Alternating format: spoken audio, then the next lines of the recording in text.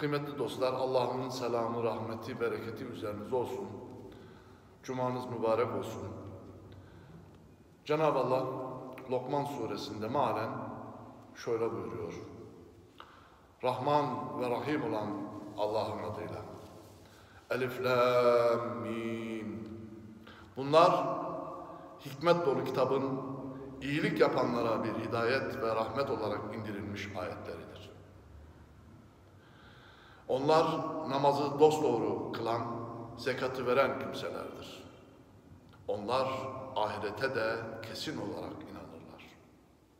İşte onlar Rablerinden gelen bir hidayet üzeredirler ve işte onlar kurtuluşa erenlerin ta kendileridir. İnsanlardan öylesi vardır ki bilgisizce Allah yolundan saptırmak ve o yolu eğlenceye almak için eğlencelik, asılsız ve faydasız sözleri satın alır. İşte onlar için aşağılayıcı bir azap vardır. Ona ayetlerimiz okunduğu zaman onları hiç işitmemiş gibi kulağında bir ağırlık var da büyüklenerek arkasını döner. Ona elem dolu bir azabı müjdele. Şüphesiz iman edip salih amel işleyenler için içlerinde ebedi kalacakları naim cennetleri vardır. Allah bu konuda gerçek bir vaatte bulunmuştur. O mutlak güç sahibidir, hüküm ve hikmet sahibidir. Allah gökleri görebileceğiniz direkler olmaksızın yarattı. Yeryüzüne de sizi sarsmasın diye sabit dağlar yerleştirdi. Ve orada her türlü canlıyı yaydı. Gökten de yağmur indirip orada her türden güzel ve faydalı bitki bitirdik. İşte Allah'ın yarattıkları. Haydi Allah'ı bırakıp da taptıklarınızın yarattığını bana gösterin.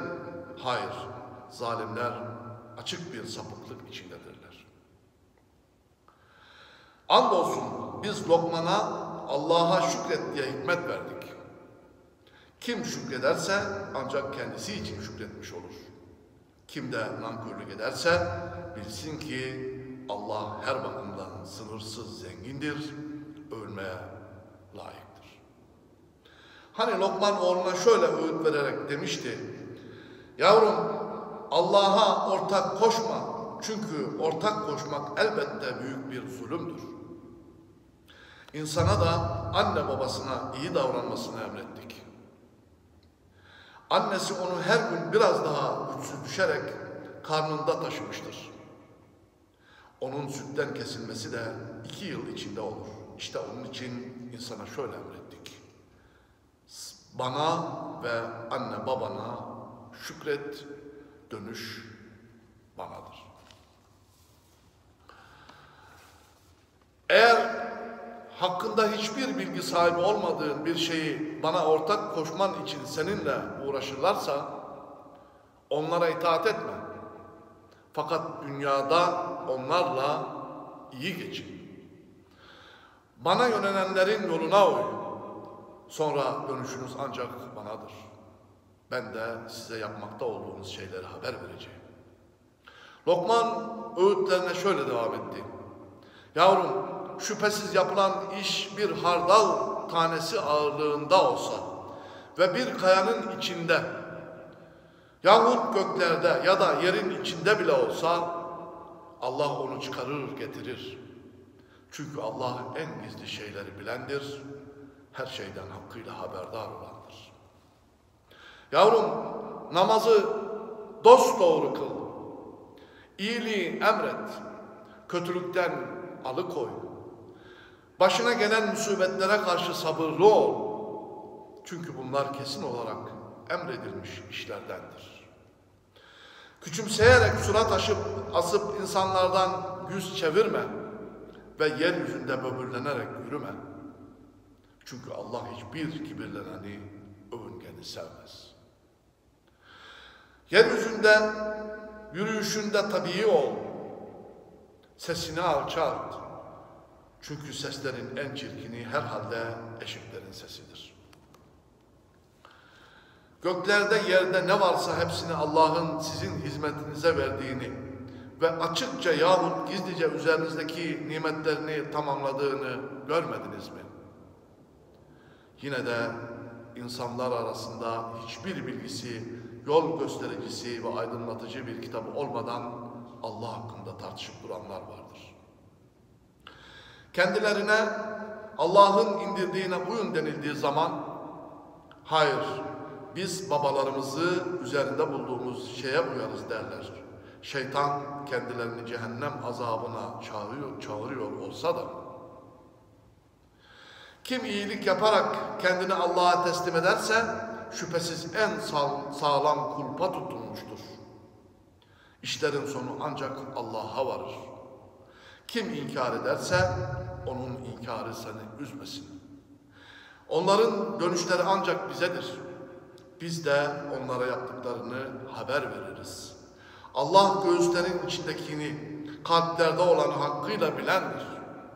Biz onları dünyada biraz yararlandırırız. Sonra da onları ağır bir azaba sürükleriz. Andolsun eğer onlara gökleri ve yeri kim yarattı diye sorsan mutlaka Allah derler. De ki hamd Allah'a mahsustur. Fakat onların çoğu bilmezler. Göklerde ve yerde ne varsa Allah'ındır. Şüphesiz Allah her bakımdan sınırsız, zengin olandır. Ölmeye layık olandır.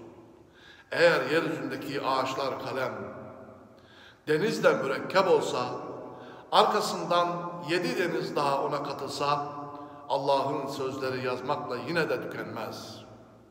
Şüphesiz Allah mutlak güç sahibidir, hüküm ve hikmet sahibidir. Ey insanlar! Sizin yaratılmanız ve öldükten sonra tekrar diriltilmeniz ancak bir tek insanı yaratmak ve diriltmek gibidir. Şüphesiz Allah hakkıyla iştendir, hakkıyla görendir. Görmedin mi ki Allah geceyi gündüzün içine, gündüzü de gecenin içine sokuyor. Güneşi ve ayı da koyduğu kanunlara boyun eğdirmiştir. Her biri kendi yörüngesinde belli bir zamana kadar akar gider. Şüphesiz Allah işlediklerinizden hakkıyla haberdardır. Bu böyledir. Çünkü Allah hakkın ta kendisidir.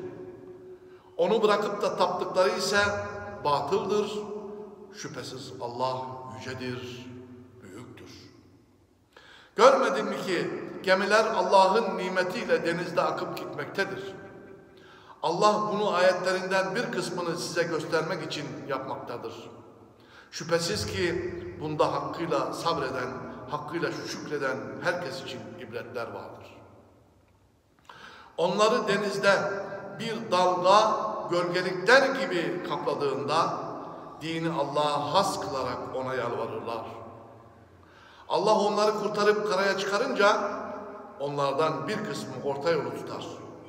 Bizim ayetlerimizi ise ancak son derece kaypak, son derece nankör olanlar inkar eder. Ey insanlar! Rabbinize karşı gelmekten sakının. Hiçbir babanın çocuğuna hiçbir yarar sağla, sağlayamayacağı, hiçbir çocuğun da babasına hiçbir yarar sağlayamayacağı günden korkun. Şüphesiz Allah'ın vaadi gerçektir. Sakın dünya hayatı sizi aldatmasın. O aldatıcı şeytan da Allah hakkında sizi aldatmasın. Kıyametin ne zaman kopacağı bilgisi şüphesiz yalnız, yalnızca Allah katındadır. O yağmuru indirir. Rahimlerdekini bilir. Hiç kimse yarın ne kazanacağını bilemez. Hiç kimse nerede öleceğini de bilemez. Şüphesiz Allah hakkıyla bilendir, her şeyden hakkıyla haberdar olandır. Azim olan Allah doğru söyledi.